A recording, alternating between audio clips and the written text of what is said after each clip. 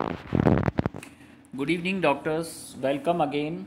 This is our part second for DNB CET June 2018.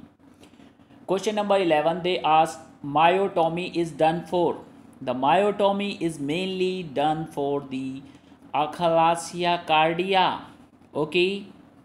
Question number 12 3 year old child can do or it can he can perform he can draw a circle he can draw a circle okay. Question number 13 maximum viability of fetus week is when fetus is 28 weeks. So i write 22 week 24 26 28 so 28 weeks is best. Question number 14 bidextrous grasp bidextrous grasps appear at 6 months. Okay.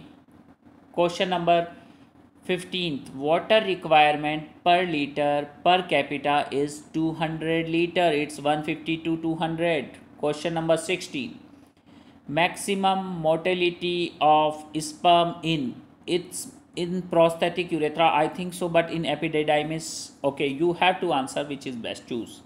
Two options Question number 17 sperm found in. It's mainly found in semini formed in, not found. It's formed in seminiferous tubules. Question number 18.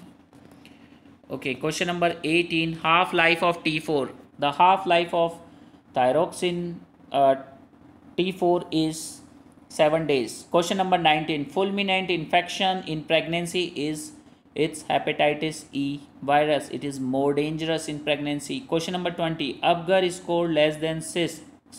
It indicates mild to moderate depression. So it's uh, moderate in option you have to choose. So guys have a good day and goodbye. This is our second part. Wait for my third part. Okay, I'm going to